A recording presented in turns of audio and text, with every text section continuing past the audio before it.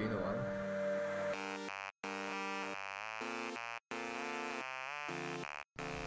So yeah, I mean, it's been a while since I've made a video like this, but as you can see, I'm playing Unturned, and this is Unturned 3.0.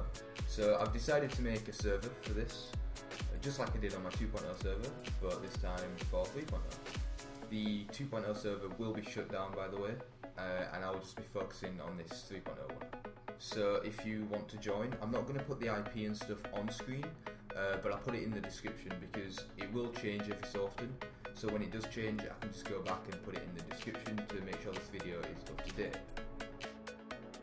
So the server itself, it's just a standard PvP survival one. Um, it's got no mods or anything, and it is VAC secured, so there'll be no hackers.